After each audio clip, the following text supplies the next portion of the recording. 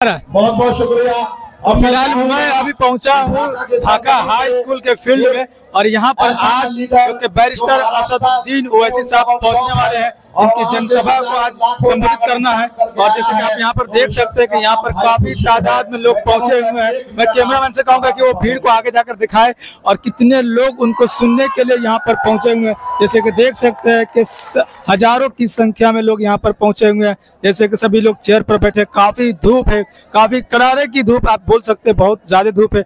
फिर भी लोग यहाँ पर उनको सुनने के लिए, उनके इंतज़ार में असदुद्दीन ओवैसी साहब के इंतज़ार में यहाँ पर बैठे हुए हैं। फ़िलहाल कुछ ही देर में बैरिस्टर असदुद्दीन ओवैसी साहब यहाँ पर पहुँचने वाले हैं। और इम्तियाज़ जरीन साहब और अख्तरुल ईमान साहब और राना रंजीत सिंह, जितने भी बड़े बड़े एम आई एम पार्टी के नेता वो फ़िलहाल यहाँ पर मंच पर पहुँच चुके मैं कैमरामैन से कहूँगा कि वो मंच पर एक बार वीडियो दिखाए कि मंच पर कौन कौन से नेता अभी फ़िलहाल पहुँच चुके हैं। यहाँ पर आप देख सकते हैं कि जितने भी बड़े बड़े नेता है, इम्तियाज़ जलील साहब, अख्तरुल ईमान साहब और भी राना रंजीत सिंह जितने भी है वो सब यहाँ पर पहुँच चुके हैं और सभी का यहाँ पर कुछ भाषण होगा। उसके बाद से लास्ट में, अंत में अगर बात करते हैं तो बैरिस्टर असदुद्दीन वसी साहब हेलीकॉप्टर के द्वारा यहाँ पर लैंड करेंगे ढाका के हाई स्कूल के फ़ील्ड में।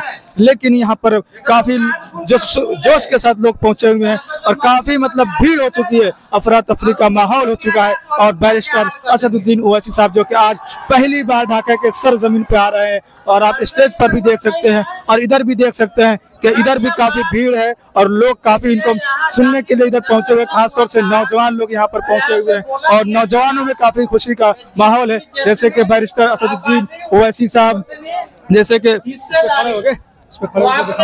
जैसे कि बैरिस्टर असदुद्दीन ओवैसी साहब को सुनने के लिए दूर दराज से लोग यहाँ पर पहुँच रहे हैं। और जैसे हर बुज़ुर्ग है, बच्चे हैं, नौजवान है, हर तरीके के लोग यहाँ पर पहुँच रहे हैं। दूर तक आपकी, जहाँ तक नज़र जा रही है, वहाँ तक आप देख सकते हैं कि सिर्फ़ लोग ही लोग, कुछ लोग खड़े हैं, कुछ लोग कुर्सी पर बैठे हैं।